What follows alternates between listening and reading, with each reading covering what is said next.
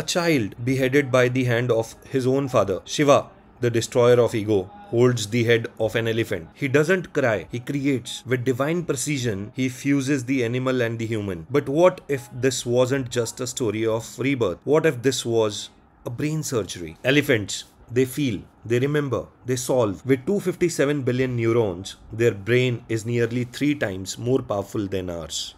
They even exhibit what science calls theory of mind, the ability to understand what others feel. Is it any wonder Ganesha wears their mind? His big ears for deep listening, small eyes, laser focus, large head, higher cognition, a trunk that's sensitive, flexible, and strong, and a single tusk, clarity over chaos. This is not art, this is architecture, a symbolic operating system of the mind.